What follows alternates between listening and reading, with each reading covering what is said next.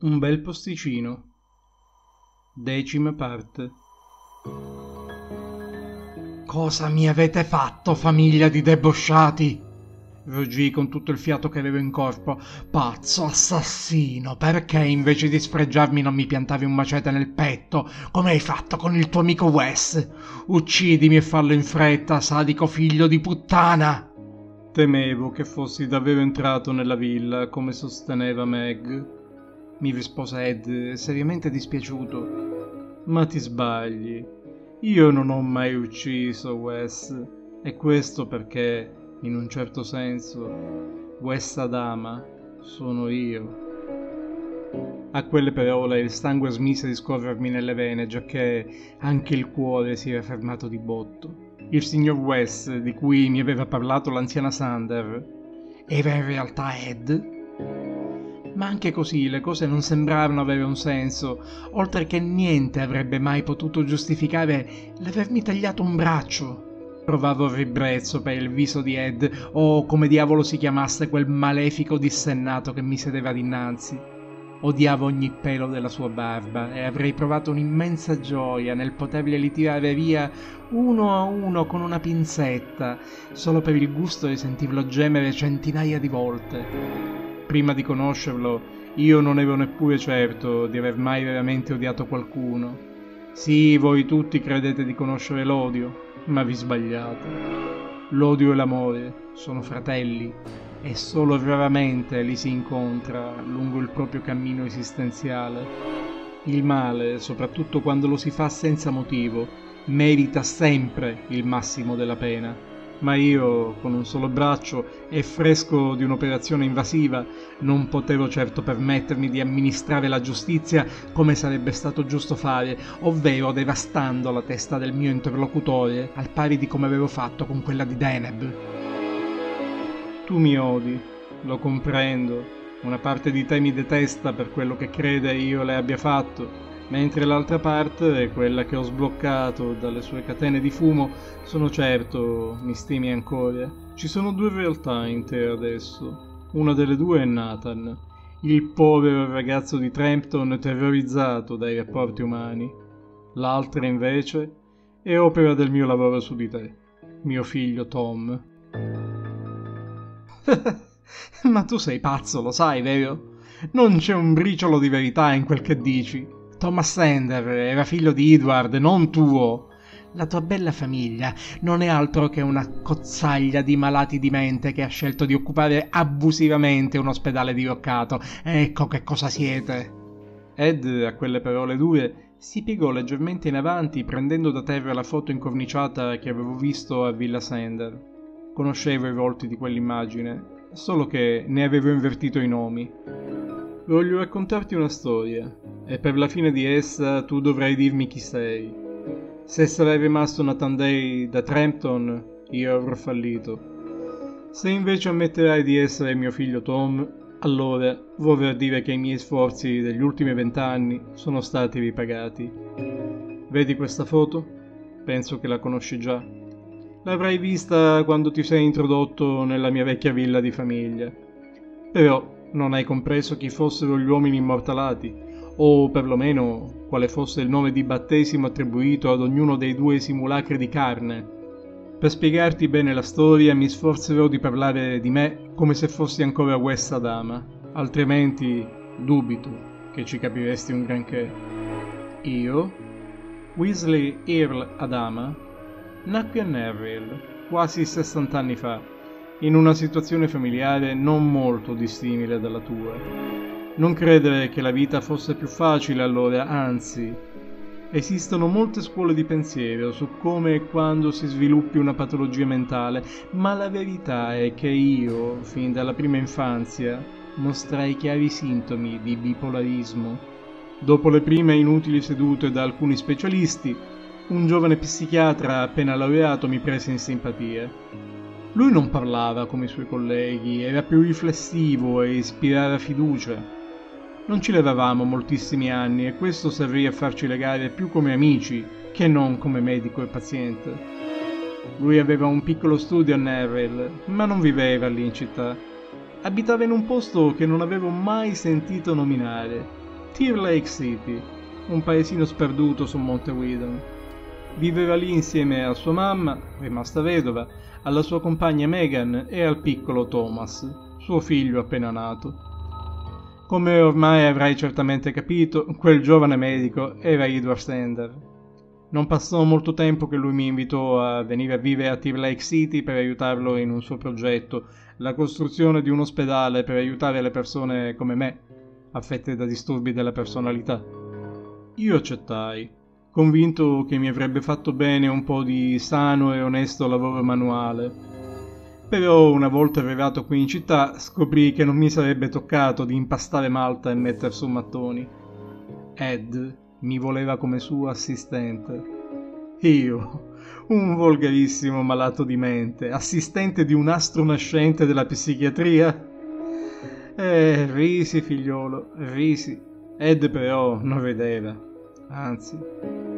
Fu così che mi trasferì a Tear Lake, nella soffitta di Villa Sender. Lì cominciavano le mie sedute con Ed, ma queste erano totalmente diverse da quelle che avevo tenuto prima. Lui aveva cominciato a parlarmi della sua ossessione per San Giuseppe da Copertino, nata dal fatto che egli fosse il protettore degli studenti pare che il santo, in vita, fosse riuscito ad ottenere conoscenze scolastiche inspiegabili, forse infuse in lui direttamente da Dio. Oltretutto, tra i suoi innumerevoli miracoli, vi è annoverato quello del volo.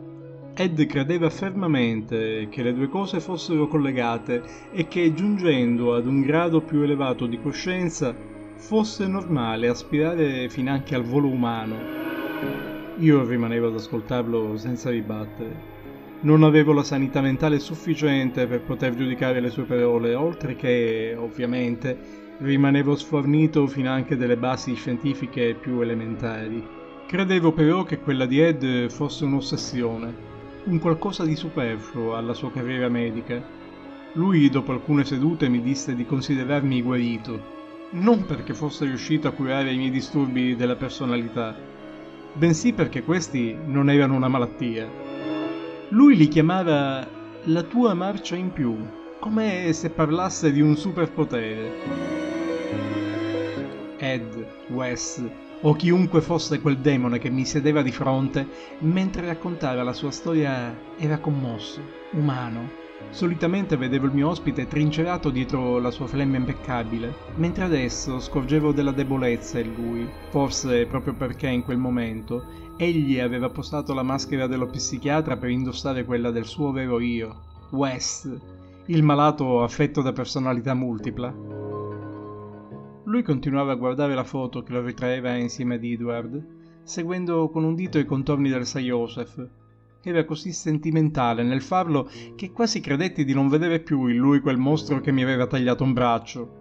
Ma quella sensazione così fuori luogo, fortunatamente, sbocciò nella mia mente soltanto per marcire quasi subito. A me non ne fotte niente di come due malati di mente si siano incontrati e abbiano messo su questo postaccio infernale. Mi hai amputato un braccio, figlio di puttana! Il mio interlocutore tolse gli occhi dalla foto e mi guardò interrogativo. Forse dentro di sé davvero non capiva perché lo odiasse a quel modo. Poi riprese a parlare. Postaccio infernale? E pensare che Ed, quando mi portò per la prima volta sul terreno dove oggi sorge l'ospedale, disse che qui era un bel posticino.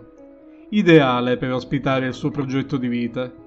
I Sanders erano benestanti il padre di Ed era un costruttore e gli aveva lasciato un'ottima base economica oltre che innumerevoli amicizie su cui contare.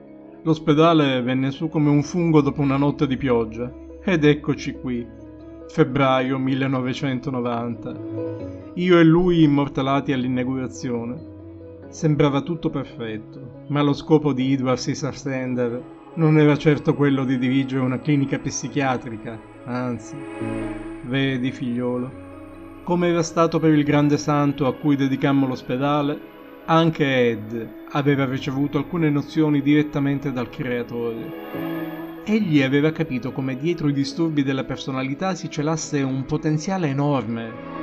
Per farti capire meglio, immagina il cervello di un malato come un computer con due dischi rigidi. Uno in uso con il sistema operativo, l'altro inutile e pieno di ciarpame. Ed aveva capito cosa si dovesse fare con il secondo disco rigido. Non andava distrutto come facevano i suoi colleghi, ma riprogrammato. Come farlo?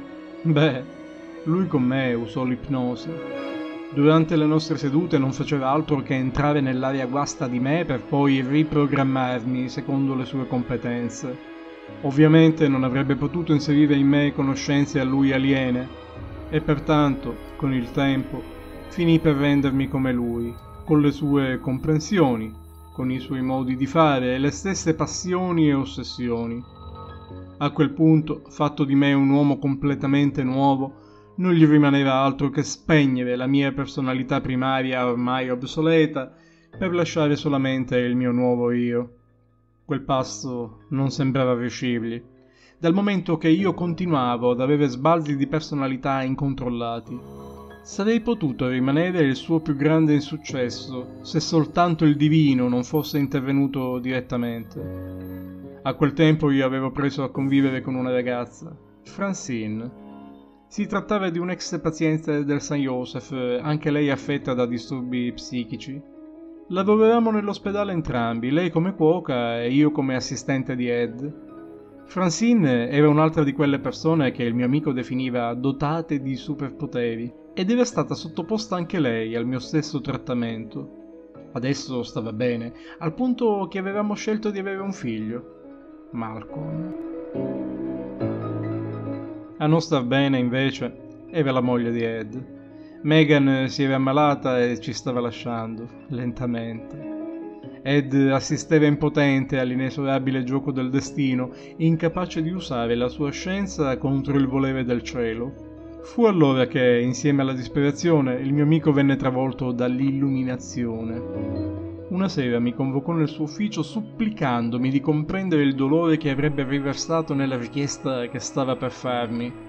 Mi ricordò che la guarigione di Francine era stato il suo più grande successo forse per via delle caratteristiche mentali della mia compagna.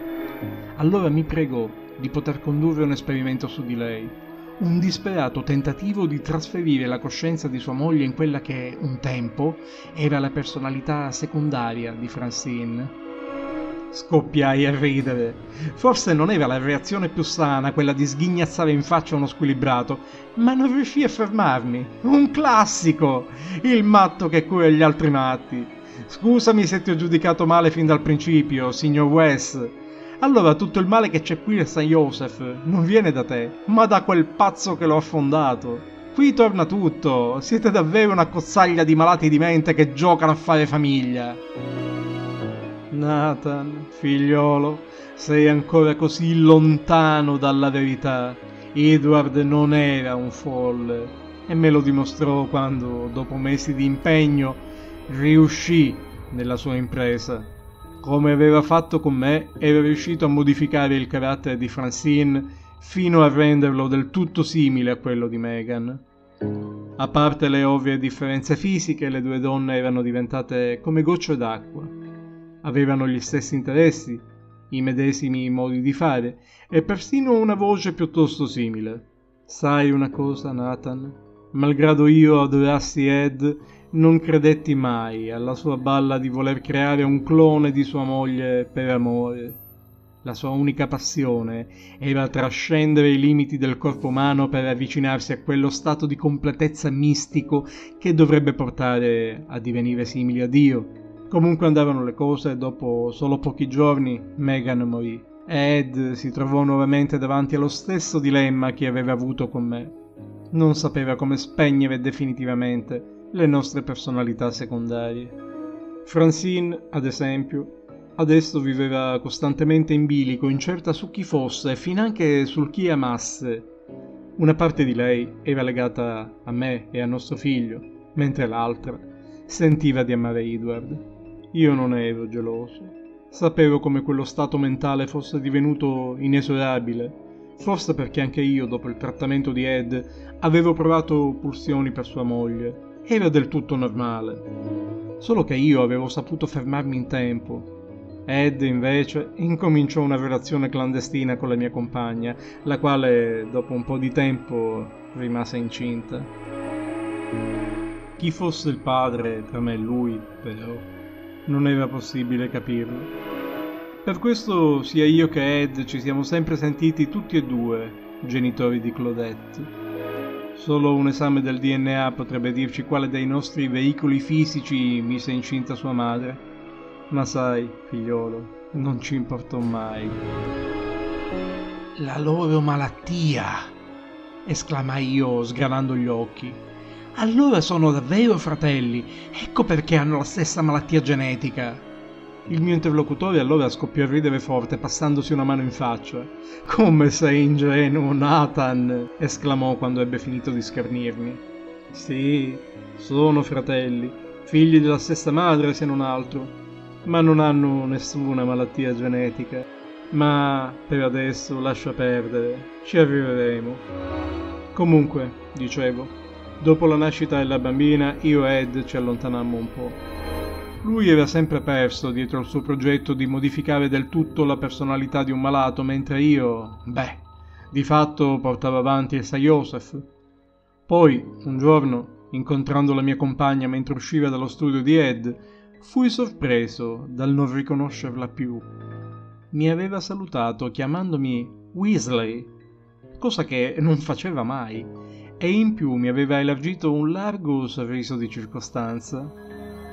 Quello era il modo di fare di Megan, ma Francine prima di allora non era mai riuscita a scindere così bene le sue personalità. Quando chiesi ad Ed cosa fosse successo, lui mi rispose che aveva finalmente trovato il modo per eliminare del tutto le personalità inutili di un individuo. Quello, di fatto, significava aver perso la mia compagna per sempre. Avrei voluto arrabbiarmi con il mio amico, ma la verità era che una parte di me, quella basata sul suo comportamento, approvava tale scelta. Francine era stato il giusto prezzo da pagare per poter ottenere quello che Ed adesso chiamava processo di deframmentazione. Scoppiai nuovamente a ridere. Era un riso isterico, ma mi regalava gioia il poter sghignazzare in faccia a quel bastardo mentre mi raccontava come e quando era riuscito a trasfigurarsi in un folle maniaco. Ed, Wes, o come cazzo pensi di chiamarti? Tutto qua? Il tuo grande segreto è che il tuo migliore amico si sbatteva la tua compagna? Non c'era bisogno di scomodare la psicanalisi e finanche i santi per accettarlo. I Dwarfstender si scopava Francine e tu, oltre che malato di mente, sei pure cornuto.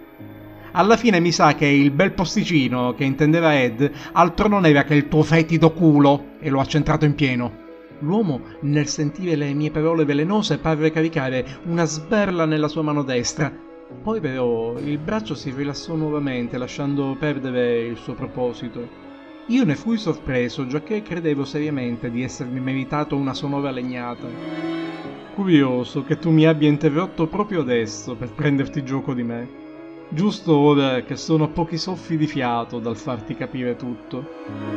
Ma io l'ho già capito! Quando ti sei reso conto che Ed ti aveva soffiato la compagna, lo hai ammazzato come un cane e ti sei preso tutto quello che era suo. Bravo, genio! Potrebbe essere stata l'unica cosa sensata che hai fatto in vita tua, lo sai? risposi io, sarcastico quasi fino a divenire caustico. Sei in errore, e non di poco, mi rispose allora l'altro con aria seriamente pensierosa. Tu pensi davvero che io abbia ucciso il mio migliore amico? L'uomo che mi aveva guarito dalla malattia? Il genio che riusciva a impiantare la personalità della gente sana dentro quegli sfortunati che solitamente si chiamano malati. Non ti ho mentito, io non ho ucciso i Dwarfstender. Quel macete che hai visto lasciato nel suo petto, in un certo senso, glielo hai piantato tu. Eh no, non ridermi in faccia come facevano i miei vecchi dottori, ascoltami. Io accettai di aver perso Francine era stato un bene superiore e dovevo solamente essere grato a Ed. Adesso la donna si faceva chiamare semplicemente Meg. E poco mi importava se non fosse più la mia compagna, perché il velo che separava me ed Ed si andava sempre più assottigliando. Col passare degli anni, ormai, mi rendevo conto che di questa dama non rimaneva quasi più nulla. Io adesso ero Edward Sender, coi suoi pregi, i suoi difetti e finanche con le sue ossessioni. Anche io alla fine mi ero appassionato ai miracoli di San Giuseppe da Copertino e come il mio amico volevo raggiungere le vette più alte dello scibile umano. Fu per questo che chiesi a Ed di mettermi al corrente del suo processo di deframmentazione quella procedura che ci avrebbe resi simili a dei. Non so se sei pronto per venirne a conoscenza, Wes. Mi rispose dapprima Ed. Si tratta più di religione che non di scienza. Il mio può divenire un credo. Inutile dire che non mi convinse e che io continuai a stargli addosso sperando di persuaderlo ad aprirsi con me, a svelarmi quale fosse il suo segreto. Intanto i giorni passavano e con essi scorreva anche l'acqua del fiume che da Monte Widon scende giù confluendo nel lago Lacrime. Quella falda acquifera stava per distruggere Tear Lake, ma nessuno poteva ancora saperlo. Era giugno, anche se non ricordo più il giorno esatto. Ed mi convocò nel suo studio e io finalmente capii che era giunto per me il momento di scoprire cosa fosse il processo di deframmentazione. Lui mi mostrò un faldone contenente scritti, disegni, formule chimiche e preghiere in latino. Aveva avuto ragione a dirmi che non si trattava di scienza medica. Il processo di deframmentazione era davvero qualcosa di mistico. Secondo le istruzioni di Ed, l'anima umana non è troppo differente da quella di Dio. Infatti, egli, nel crearla, si sarebbe doviziosamente preoccupato di frammentarla Ognuno di noi possiede un'anima, ma essa non è che l'eco pallido di ciò che dovrebbe essere la sua versione completa. Per compierla, quindi, si sarebbe dovuti ricorrere alla pratica che il mio acutissimo amico aveva messo a punto. La mia ex compagna, Meg, era stata sottoposta con successo a questo rituale e difatti da allora aveva definitivamente smesso di essere Francine lei era la prima anima deframmentata che il processo avesse creato. Io, virtualmente, sarei stato il secondo. Adesso sapevo.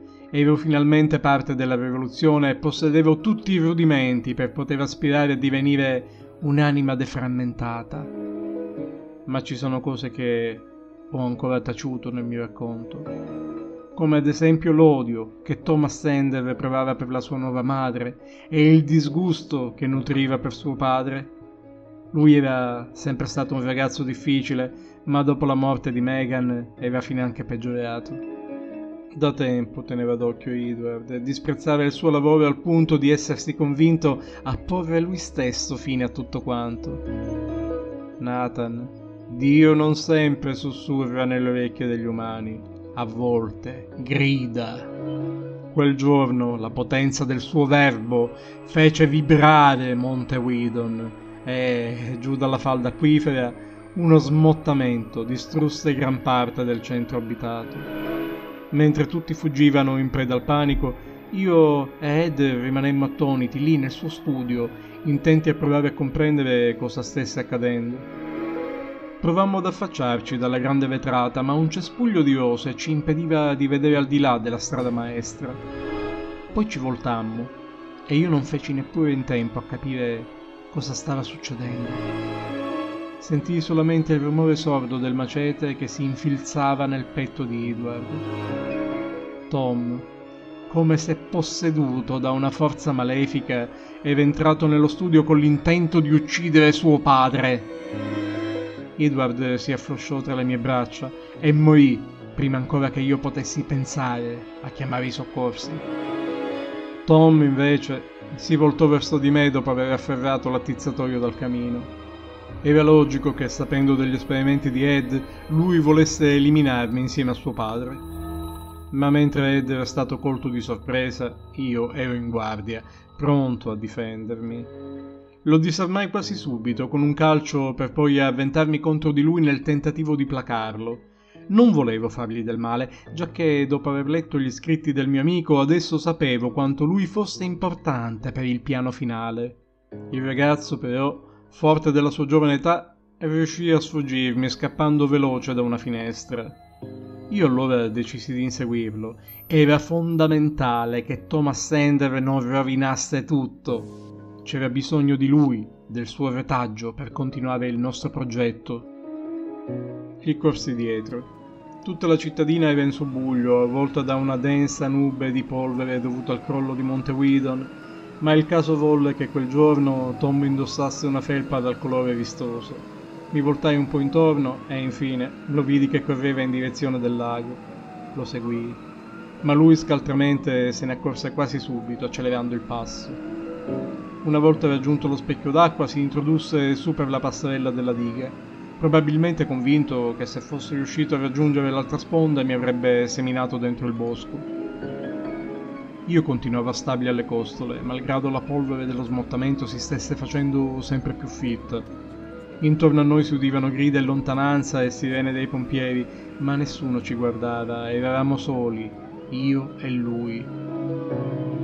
Poi, improvvisamente, il ragazzo si fermò. Eravamo quasi a metà della passerella sulla diga e solo quando gli fui a non più di 10 metri di distanza riuscii a capire cosa fosse successo. Lo smottamento di Monte Widon aveva causato delle crepe nella diga, facendo persino crollare un pezzo di pavimentazione. Tra Tom e l'altra sponda della passerella c'erano più di 5 metri di vuoto. Era finita. Lo avevo preso. Vattene via, Wes. Sarò felice solo quando ti vedrò chiuso in un manicomio come paziente, e non come adesso. Mi gridò lui vedendomi arrivare. Tom, tu non capisci, c'è qualcosa di molto più grande di noi nel progetto di tuo padre. Provavo a calmarlo, ma lui non mi dava retta. Poi lo vidi avvolgere il braccio intorno a un cavo metallico che penzolava da un traliccio. La sua idea era indubbiamente di calarsi fin dentro al lago per proseguire la fuga a nuoto. Io mi avvicinai per provare a fermarlo, ma in quel momento il traliccio pericolante a cui era agganciato il cavo si staccò per metà dal basamento. Tom allora cadde nel vuoto per diversi metri, prima che il cavo, tornando a tendersi, con il contraccolpo gli strappasse via di netto il braccio con il quale si era assicurato. Vidi il ragazzo cadere nelle acque del lago e scomparire poi dentro una chiazza di sangue mentre il suo braccio sinistro penzolava ancora macabramente legato al cavo metallico. Io trasalii. Istintivamente guardai in direzione del mio moncherino e mi resi conto che per quanto totalmente inaccettabili, i vaneggiamenti di questa dama avevano trovato riscontro nella mia amputazione. Io stesso in fondo avevo più volte pensato che i miei continui incidenti al braccio sinistro fossero una sorta di pagamento arcano da volgere ai custodi della verità.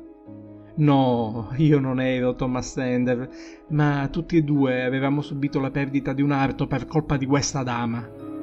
Il mio fu un gesto infantile, lo ammetto, ma non riuscii a trattenermi dallo sputare dritto in faccia al mio ospite. Lui non si scompose, anzi estrasse un fazzoletto dal taschino e dopo essersi ripulito dalla mia saliva che gli colava fino al mento, mi sorrise rassegnato come se si rendesse conto che quello sputo se lo era meritato fino all'ultima goccia. Non so che responsabilità hai tu nella morte di Tom. Penso che almeno di questo sei innocente, gli risposi io guardandolo schifato. Ma rimane il fatto che qui, nella tua casa accogliente, rapisci la gente. O come hai fatto con me, con l'inganno, o come ha fatto quel mentecatto di Deneb con Esther. Vedi, Nathan, il mio racconto non è ancora finito. Ti spiegherò tutto, te l'ho promesso.